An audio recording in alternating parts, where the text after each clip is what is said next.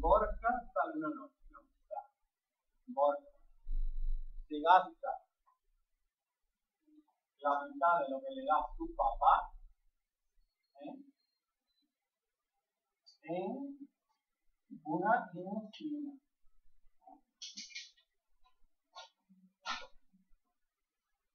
Dos quintos invitar a sus amigos a copa, ¿sabes? Como no sabemos pasarlo bien, pues nos gastamos el dinero de papá.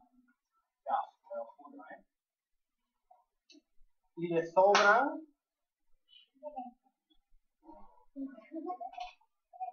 300 euros. Ya. Eso se lo da, ¿no? Los pobres de esos, esos que llegan de becas, que hacen, no, no tienen dinero.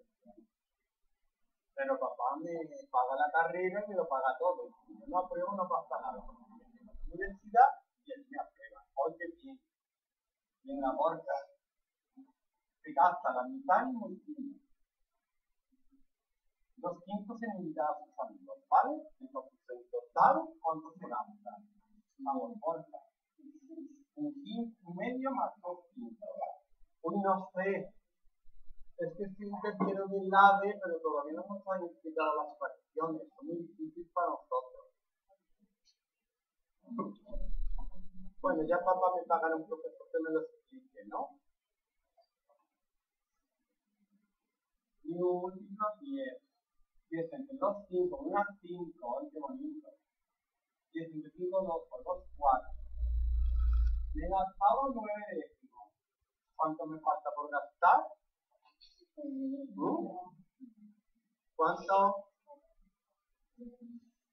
Tenía hasta nueve décimos, pero que tenía, ¿cuánto me falta por gastar? Muy bien. Uno menos nueve décimos. Un décimo. Y ahora yo sé que un décimo son 300 euros. Entonces, ¿cuánto dinero me falta para salir?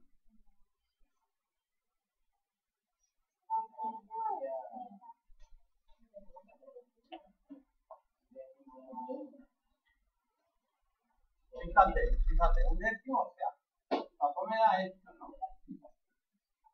O sea, 10 partes, 1, 2, 3, 4, 5, 6, 7, 8 y 9. Y una parte son 300 euros. Entonces, ¿cuánto hay en total?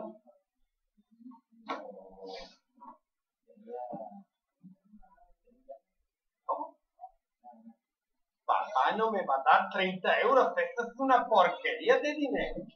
Muy poco. ¿Vale? Dios, no, sí.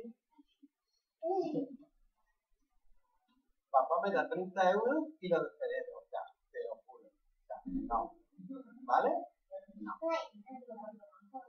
Sea, vamos a ver.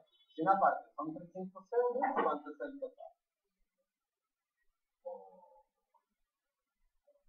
Si hay 10 partes, muy bien, 3.000.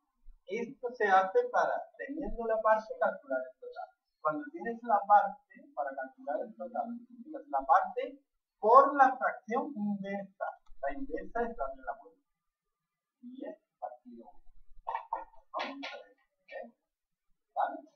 Pero yo prefiero fracciones. 1, 2, 3, Y esto es lo que me da mi patria.